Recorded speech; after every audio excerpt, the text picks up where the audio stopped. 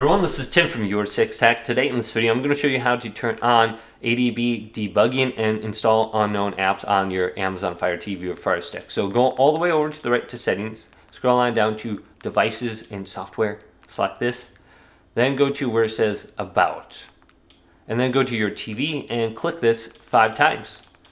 And it says uh, at the bottom how many more times you need to click it to unlock the developer mode then back out under here and go to developer options. This should be under here now, select it, and then turn on ADB debugging, and uh, then go to the install a known app. So you'll have to select the app and go to on, and then you can install it. So if you got like downloader or something like that, just make sure uh, downloader is selected on, and then you should be able to download unknown apps through that program.